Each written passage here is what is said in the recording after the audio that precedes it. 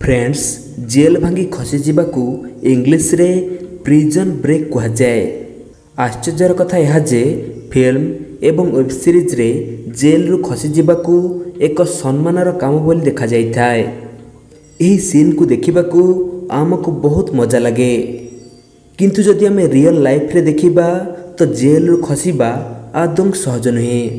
କଥାରେ ଅଛି ଚୋର ପୁଲିସ ଠାରୁ ଦୁଇ ପାଦ ଆଗରେ ଥାନ୍ତି ଏଥିପାଇଁ ଯେତେ ଷ୍ଟ୍ରିକ୍ଟ ସିକ୍ୟୁରିଟି ହେଲେ ମଧ୍ୟ ଏମିତି କିଛି ଅତି ବୁଦ୍ଧିମାନ ଲୋକ ଥାନ୍ତି ଯେଉଁମାନେ ଜେଲ୍ରୁ ମଧ୍ୟ ଖସିଯାଆନ୍ତି ଆଜିର ଏହି ଭିଡ଼ିଓରେ ମୁଁ ଆପଣଙ୍କୁ ଏମିତି ଦୁଇଟି ପ୍ରିଜନ୍ ବ୍ରେକ୍ ବିଷୟରେ ଜଣାଇବାକୁ ଯାଉଛି ଯାହାକୁ ଶୁଣିଲା ପରେ ଆପଣଙ୍କ ହୋସ୍ ଉଡ଼ିଯିବ। ତ ଭବିଷ୍ୟତରେ ଏମିତି ଇଣ୍ଟରେଷ୍ଟିଂ ଭିଡ଼ିଓ ଦେଖିବାକୁ ଚାହୁଁଥିଲେ ଚ୍ୟାନେଲକୁ ଏବେ ସବସ୍କ୍ରାଇବ୍ କରନ୍ତୁ ଏବଂ ତା ଡାହାଣରେ ଥିବା ବେଲ୍ ଆଇକନ୍କୁ ଅନ୍ କରିଦିଅନ୍ତୁ। ପୃଥିବୀରେ ଆଲ୍ କାଟ୍ରାଜକୁ ସବୁଠାରୁ ମଜବୁତ ଜେଲ୍ ବୋଲି କୁହାଯାଏ। ଯେଉଁମାନେ ଏକଥା ଜାଣିନାହାନ୍ତି ଯେ ଆଲ୍ କାଟ୍ରାଜ କ'ଣ ଅଟେ ତ ସେମାନଙ୍କୁ ଜଣାଇଦେବା ପାଇଁ ଚାହିଁବି ଯେ ଏହାକୁ ଉଣେଇଶହ ଚଉତିରିଶ ମସିହାରେ ତିଆରି କରାଯାଇଥିଲା। ଆଶ୍ଚର୍ଯ୍ୟର କଥା ହେଲା ଯେ ଏହି ପୁରା ଜେଲ୍ ଏକ ଦ୍ୱୀପରେ ଅବସ୍ଥିତ ଏବଂ ଏହି ଦ୍ୱୀପ ଆମେରିକାର କାଲିଫର୍ଣ୍ଣିଆ ସମୁଦ୍ର କୂଳରୁ ତିନି କିଲୋମିଟର ଦୂରରେ ଅବସ୍ଥିତ।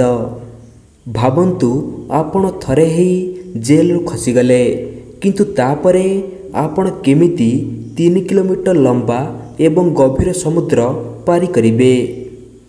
ଏଥିପାଇଁ କୌଣସି ବି ଲୋକ ଏହି ଜେଲ୍ରୁ ଖସିବା ପାଇଁ ଚେଷ୍ଟା କରନ୍ତି ନାହିଁ।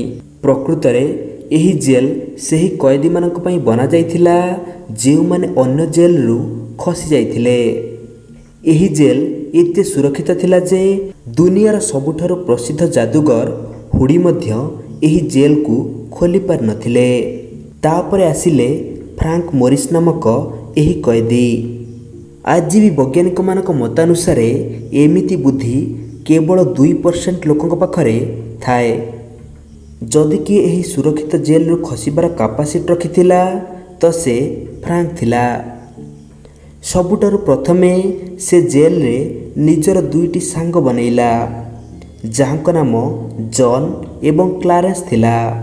ଫ୍ରାଙ୍କ ନିଜ ଦୁଇଟି ସାଙ୍ଗଙ୍କ ସହିତ ମିଶି ଏକ ଡେଞ୍ଜରିୟସ୍ ପ୍ଲାନ୍ ବନେଇଲା। ଫ୍ରାଙ୍କକୁ ଇଲେକ୍ଟ୍ରିକ୍ ଜିନିଷ ବନେଇବାର କିଛିଟା ଆଇଡ଼ିଆ ଥିଲା ଏବଂ ସେ ଛୋଟ ମୋଟ ଜିନିଷକୁ ଏକାଠି କରି ଏକ ଡ୍ରିଲ୍ ବନାଇବାରେ ଲାଗିଲା। ଏହି ଡ୍ରିଲ୍କୁ ବନାଇବା ପାଇଁ ତାକୁ ପୁରା ଛଅ ମାସ ସମୟ ଲାଗିଗଲା। ତାପରେ ସେମାନେ ନିଜ ସେଲ୍ର କାନ୍ଥକୁ କାଟିବା ପାଇଁ ଏହି ଡ୍ରିଲ୍କୁ ବ୍ୟବହାର କରିବା ପାଇଁ ଚାହିଁଲେ। କିନ୍ତୁ ସବୁଠାରୁ ବଡ଼ ପ୍ରୋବ୍ଲେମ୍ ଥିଲା ଡ୍ରିଲ୍ରୁ ଆସୁଥିବା ସାଉଣ୍ଡ। ଫ୍ରାଙ୍କ ଏମିତି ଛୋଟ ମୋଟ ପ୍ରୋବ୍ଲେମ୍ ଆଗରେ ହାର ମାନିବାର ଲୋକ ନଥିଲା। ସେହି ଜେଲ୍ରେ ପ୍ରତ୍ୟେକ ସନ୍ଧ୍ୟାରେ କଏଦୀମାନଙ୍କ ମନୋରଞ୍ଜନ ପାଇଁ ପିଆନୋକୁ ସ୍ପିକରରେ ବଜାଯାଉଥିଲା। ଫ୍ରାଙ୍କ ଏହି ସୁଯୋଗକୁ ହାତଛଡ଼ା କରିବାକୁ ଚାହିଁଲା ନାହିଁ। ସେ ପ୍ରତ୍ୟେକ ଦିନ ସେହି ସମୟରେ ଡ୍ରିଲ୍ର ବ୍ୟବହାର କଲା ଏବଂ କିଛି ଖୋଳିଲା ପରେ ସେହି ଜାଗାକୁ ନିଜ କପଡ଼ାରେ ଲୁଚାଇ ଦେଉଥିଲା। କେବଳ ଏତିକି ନୁହେଁ ଏହି ସମୟ ମଧ୍ୟରେ ସେ ଜେଲ୍ର ଅଧିକାରୀମାନଙ୍କ ଠାରୁ ସେମାନଙ୍କ ରେନିକୋଟ୍ ମଧ୍ୟ ଚୋରେଇ ନେଇଯାଇଥିଲା। ଏହି ରେନିକୋଟ୍କୁ ବ୍ୟବହାର କରି ସେ ସମସ୍ତଙ୍କ ପାଇଁ ଗୋଟିଏ ଗୋଟିଏ ଲାଇଫ୍ ଜ୍ୟାକେଟ୍ ବନେଇଲା। ଏବଂ ଜୁନ୍ ଉଣେଇଶହ ବାଷଠି ମସିହାର ଗୋଟିଏ ରାତିରେ ସେମାନେ ଖସିଯିବା ପାଇଁ ଚାହିଁଲେ। ଆମେ ସମସ୍ତେ ଜାଣିଛେ ଯେ କୌଣସି ବି ପ୍ଲାନ୍ ପୁରାପୁରି ଭାବରେ ସଠିକ୍ ହୋଇନଥାଏ। ସେମାନେ ପ୍ଲାନ୍ କରିଥିଲେ ଯେ ବାହାରିବା ପରେ ସେହି କାନ୍ଥରେ କୌଣସି ବୋର୍ଡ଼ ସେଟ୍ କରିଦେବେ ଯାହାଫଳରେ କାହାକୁ ଜଣାପଡ଼ିବ ନାହିଁ ଯେ ସେମାନେ କେମିତି ଖସିଲେ। ବୋର୍ଡ଼କୁ ଫିଟ୍ କରିବା ପାଇଁ ସେମାନଙ୍କୁ କିଛି ଅଠାର ଆବଶ୍ୟକତା ଥିଲା। କିନ୍ତୁ ଶେଷ ପର୍ଯ୍ୟନ୍ତ ସେମାନଙ୍କୁ ଅଠା ମିଳିଲା ନାହିଁ। ଯାହାଫଳରେ ସେମାନେ ଏଥିରେ ସିମେଣ୍ଟର ବ୍ୟବହାର କରିବାକୁ ଚାହିଁଲେ। କିନ୍ତୁ ସିମେଣ୍ଟର ବ୍ୟବହାର କରିବା ଦ୍ୱାରା ତାହା ନକଲି କାନ୍ଥ ବଦଳରେ ଅସଲ କାନ୍ଥରେ ପରିଣତ ହୋଇଗଲା। ପ୍ରଥମେ ଜନ୍ ବାହାରିଲା ଏବଂ ତାପରେ ଫ୍ରାଙ୍କ ବାହାରିଲା। କିନ୍ତୁ ବିଚରା କ୍ଲାରେନ୍ସ ସେହି କାନ୍ଥରେ ଫସି ରହିଗଲା। ଯାହାଫଳରେ ସେମାନଙ୍କୁ କ୍ଲାରେନ୍ସକୁ ସେଠାରେ ଛାଡ଼ି ଯିବାକୁ ପଡ଼ିଲା। କିନ୍ତୁ ତାପରେ କ'ଣ ହେଲା?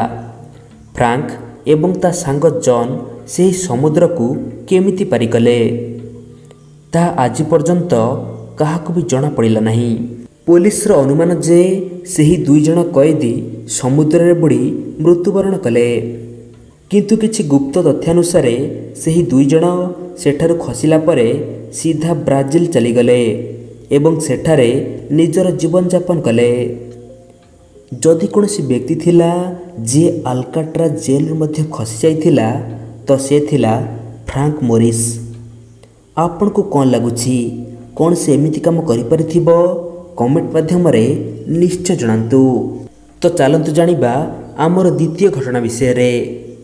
ଆମେ ଏଠି କଥା ହେବାକୁ ଯାଉଛେ ୟାସି ସିରାତୋରିଙ୍କ ବିଷୟରେ। ଏହି ଲୋକ ବିଷୟରେ ଏକଥା କୁହାଯାଏ ଯେ ଏହାକୁ କୌଣସି ବି ଜେଲ୍ ସମ୍ଭାଳି ରଖିପାରେ ନାହିଁ। ଜେଲ୍ରେ ରହିବା ଏହି ଲୋକକୁ ଆଦୌ ପସନ୍ଦ ନଥିଲା। ସେ ଜାପାନରେ ରହୁଥିଲା ଏବଂ ଗୋଟିଏ ସମୟରେ ତାକୁ ଲୋକ ଯାଦୁଗର ବୋଲି ଭାବୁଥିଲେ। ସେହି ସମୟରେ ଜାପାନର ଜେଲ୍ ଗୁଡ଼ିକରୁ ଖସିବା ଏତେ ସହଜ ନଥିଲା। ଦିନକୁ ଦିନ ଜେଲ୍ର ସିକ୍ୟୁରିଟି ମଧ୍ୟ ଆହୁରି ବଢ଼ାଯିବା ଯୋଗୁଁ କୌଣସି କଏଦୀ ସ୍ୱପ୍ନରେ ମଧ୍ୟ ଜେଲ୍ରୁ ଖସିବାର ଚାନ୍ସ ନଥିଲା। ୟାସିକୁ ହତ୍ୟା ଏବଂ ଚୋରି ଯୋଗୁଁ ଗିରଫ କରାଯାଇଥିଲା ଏବଂ ଆରେଷ୍ଟ ପରେ ତାକୁ ଆମରି ଜେଲ୍ରେ ରଖାଗଲା। କିନ୍ତୁ ସେଠାରୁ ସେ ଅତି ଆରାମରେ ଖସିଗଲା। ଏହାପରେ ତାକୁ ଆକିଟା ଜେଲ୍ରେ ରଖାଗଲା। ପୋଲିସର ବିଶ୍ୱାସ ଥିଲା ଯେ ଏହି ଜେଲ୍ରୁ ସେ କେବେ ବି ଖସିପାରିବ ନାହିଁ। ୟାସି ପ୍ରତିଦିନ ରାତ୍ରି ସମୟରେ ଜେଲ୍ର ଉପର ଭାଗରେ ଲାଗିଥିବା କାଠର ସିସାକୁ ଖୋଲିବା ପାଇଁ ଚେଷ୍ଟା କରୁଥିଲା। କିନ୍ତୁ ସେଥିରେ ସେ ବିଫଳ ହେଉଥିଲା। ଏମିତି ପ୍ରତିଦିନ ଖୋଜୁ ଖୋଜୁ ତାକୁ ଏକ ଏମିତି ସିସା ମିଳିଗଲା ଯାହା ବାକି ସିସା ଠାରୁ କାଫି ଢିଲା ଥିଲା। ଦିନେ ରାତିରେ ସେହି ସିସାକୁ କାଢ଼ି ତା ମଧ୍ୟ ଦେଇ ଜେଲ୍ରୁ ଖସିଗଲା। ଦୁଇଥର ଜେଲ୍ରୁ ଖସିଯିବା ପରେ ତାକୁ ପୁଣି ଥରେ ଆରେଷ୍ଟ କରାଗଲା। କିନ୍ତୁ ତାକୁ ଏଥର ଆବାସିରି ଜେଲ୍ରେ ରଖାଗଲା।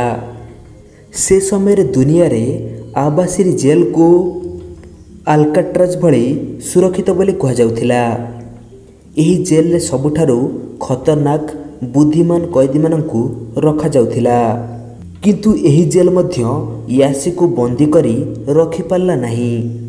ସେ ପ୍ରତିଦିନ ତାକୁ ମିଳୁଥିବା ତରକାରୀକୁ ନିଜ ରୁମ୍ର କବାଟ ପାଖରେ ପକାଇ ଦେଉଥିଲା। ଏହାଦ୍ୱାରା ଧୀରେ ଧୀରେ ସେହି କବାଟ ଜଙ୍ଗ ଖାଇ କମଜୋର ହୋଇଗଲା। ତାପରେ ଆସିଲା ପଚିଶ ଅଗଷ୍ଟ ଉଣେଇଶହ ଚଉରାଳିଶର ଦିନ। ସେଦିନ ଦ୍ୱିତୀୟ ବିଶ୍ୱଯୁଦ୍ଧ ଯୋଗୁଁ ପୁରା ଜାପାନରେ ଏକ ପ୍ରକାର ବନ୍ଦ ପାଳନ କରାଯାଉଥିଲା। ଏହାର ସୁଯୋଗ ନେଇ ୟାସି କବାଟକୁ ଭାଙ୍ଗି ସେଠାରୁ ଖସିଗଲା। ଏହାପରେ ଜାପାନ ସରକାର ନିଜର ଜେଲ୍ ଗୁଡ଼ିକର ସୁରକ୍ଷା ବଢ଼ାଇବା ପାଇଁ ବିଶେଷ ଧ୍ୟାନ ଦେଲେ। କିନ୍ତୁ ୟାସିକୁ ଆଉ କେବେ ବି ଜାପାନ ପୋଲିସ ଧରିପାରିଲା ନାହିଁ। ଫ୍ରେଣ୍ଡସ୍ ଲାଷ୍ଟ ଭିଡ଼ିଓ କମେଣ୍ଟର ସାଉଟଆଉଟ୍ ଯାଉଛି ଦେବେନ୍ଦ୍ର ପାତ୍ରଙ୍କ ପାଖକୁ ଯିଏ ବହୁତ ଭଲ କମେଣ୍ଟ ଦେଇଥିଲେ। ଭିଡ଼ିଓ ଭଲ ଲାଗିଲେ ଭିଡ଼ିଓକୁ ନିଶ୍ଚୟ ଗୋଟିଏ ଲାଇକ୍ ଦିଅନ୍ତୁ ଏବଂ ନିଜ ସାଙ୍ଗମାନଙ୍କ ସହିତ ଭିଡ଼ିଓକୁ ସେୟାର କରନ୍ତୁ। କାରଣ ଏମିତି ଗୋଟିଏ ଭିଡ଼ିଓ ବନାଇବା ପାଇଁ ମୋତେ ବହୁତ ପରିଶ୍ରମ କରିବାକୁ ପଡ଼େ ଏଥିପାଇଁ ଆପଣମାନଙ୍କର ସପୋର୍ଟ ମୋତେ ନିହାତି ଦରକାର ଯଦି ଆପଣ ଏପର୍ଯ୍ୟନ୍ତ ଆମ ଚ୍ୟାନେଲକୁ ସବସ୍କ୍ରାଇବ୍ କରିନାହାନ୍ତି ତ ଚ୍ୟାନେଲକୁ ସବସ୍କ୍ରାଇବ୍ କରନ୍ତୁ ଏବଂ ତା ଡାହାଣରେ ଥିବା ବେଲ୍ ଆଇକନ୍କୁ ଅନ୍ କରିଦିଅନ୍ତୁ ଆଜି ପାଇଁ ଏତିକି ବାଏ